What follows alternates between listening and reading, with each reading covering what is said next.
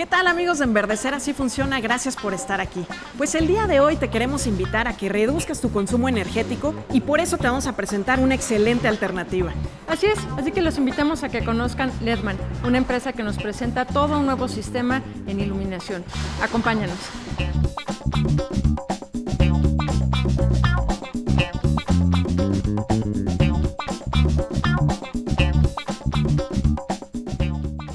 Aquí con Aarón Muñiz, él es el director general de Ledman. Oye, Aarón, hoy en día estamos viviendo una problemática pues muy grande con el tema de, de, energía y pues por varios años se nos ha hablado de que tenemos que cambiar nuestros, nuestros focos eh, y pues también nuestros hábitos. ¿Qué nos puedes platicar al respecto? Eh, a lo largo de la historia hemos cambiado, migrado de tecnología, seguramente recordarás en un principio que tú usabas focos de esos que queman, que se llaman incandescentes. Exacto. ¿no?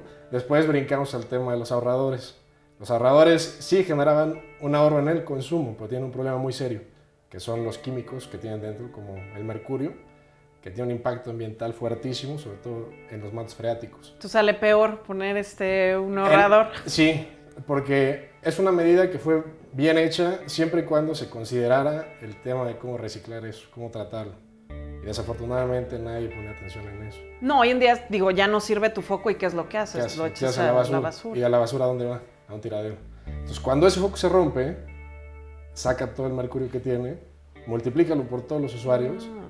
Y en los tiraderos eso se va a los mantos freáticos y después vemos problemas muy serios como el tema del cáncer y muchas otras cosas que, que, se ven a largo plazo, pero ya con una repercusión social. ¿no? Entonces, lo último, lo más novedoso, la mayor tecnología está puesta en la tecnología LED. Así es. ¿Cómo funciona la tecnología LED? Digo, nada más para que todos Sí. entendamos rápidamente. LED es, es muy fácil, tiene dos características, que es lo que lo hace algo muy interesante y con un aporte ambiental. Uno, el tema del ahorro en el consumo de la energía. ¿no? El- el- la tecnología LED es eficiente. Un foco ahorrador este, usa mercurio, usa gases, pero quema. Y un foco incandescente, como el primero, solo quema. El incandescente, para que tengas datos, usa más o menos 60 watts. De esos 60 watts, solo usa el 10% para dar iluminación y el, och- el 90% es calor. Por eso es que te quema. Ok. Luego, un ahorrador usa 60% para generar calor y 40% genera iluminación. Por eso es que cuando ya ves, pues el wattaje es menor.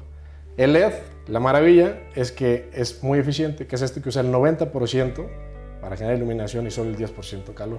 Oye, Aaron, y entonces ustedes, me imagino, identificaron esta oportunidad en, en el negocio, en hacer un, un aporte ambiental y surgió Ledman, o Así cuál es, es. la, la historia de. Sí, es de una historia empresa?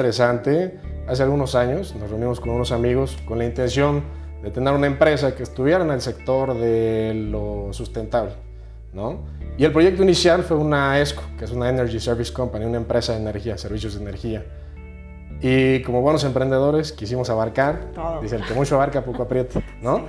Y definitivamente, este, pasado un tiempo, encontramos que la mejor manera de aterrizar un negocio sólido, estructurado y aprovechando la ventaja que teníamos en el mercado era a través exclusivamente de la iluminación LED. Y de ahí pues surge LEDman. Y se especializaron, ya no fue vamos a abarcar todo, sino. Exactamente. Ahora sí que a irse por el. Decidir. ¿no? Exactamente. Y- Oye, Aaron, ¿y a qué, a qué retos se han enfrentado? Porque como bien dices, digo, en México muchos estamos emprendiendo, queremos hacer cosas, pero de pronto no dimensionamos o no sabemos ni siquiera, yo creo que si supiéramos nadie se aventaría a hacer un negocio, de cuáles van a ser las dificultades que se van a encontrar. Sí.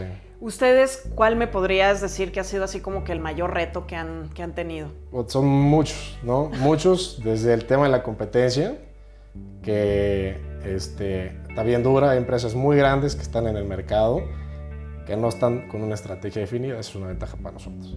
Otra, el tema de las regulaciones y las normas. Hace un año en México salió una norma especializada para evitar que se, produci- que se comercializaran eh, productos de baja calidad. Entonces el estándar es muy alto. Afortunadamente tenemos toda la estructura para poder este, solventarlo, hicimos la inversión. Entonces, al día de hoy Ledman es una empresa certificada con la NOM 030 que competimos con las grandes empresas para poder dar un producto de calidad y de eficiencia. ¿no? Y por ejemplo, ese proceso de, de certificación, eh, ¿Te piden muchas cosas, muchas cualidades que tenga el producto? No te imaginas, es de todas las del mundo. Ok. Todas, desde cuestiones de materias primas, eh, la electrónica, eficiencia, iluminación, se tiene que hacer a través de un laboratorio independiente. El laboratorio independiente te da un dictamen y ese dictamen lo presentas con, la, con los este, reguladores y el regulador te dice si eso no es. Pero eso para ustedes pues es buenísimo porque al sí tenerla pues habla de que son productos de, altísima calidad y aunque tuvieron que pasar por un proceso difícil, me imagino que no todos los productos que llegan a México o que se producen en México cuentan con esta certificación. Teóricamente no debería de ser así. O sea, después de esta ley eh, indica precisamente que no se puede comercializar un producto que no esté bajo la NOM 030 pero nos encontramos sorpresas. ¿no? Sin embargo, el mercado regular y formal está dentro de esto y eso nos ha beneficiado. Para el principio fue un problema. Otro que te puedo mencionar y también logramos resolverlo es el tema de, la inversión. Uno de nuestros mercados es este, la industria, las empresas grandes, AAA, AA y, y medianas. Y cuando tú le planteas a una empresa, decirle, oye, vamos a hacer un proyecto de eficiencia energética y me tienes que pagar esta cantidad de dinero para instalarte y que veas resultados, a cuatro años, dicen, prefiero meterlo en mi negocio y, este, y suficiente, ¿no? ¿Qué hicimos aquí? Porque eso, el flujo de dinero y la capacidad de inversión pues, está enfocada en su negocio. Entonces, ¿cómo hacemos atractivo para las empresas que opten por esta tecnología, que generen un impacto ambiental, que se vuelvan verdes de verdad y que no tengan la barrera del dinero? Espera, no me digas cómo, porque tenemos que ir a una pausa, pero regresando del corte, Aarón nos va a decir cómo hacerlo. Así es de que regresamos.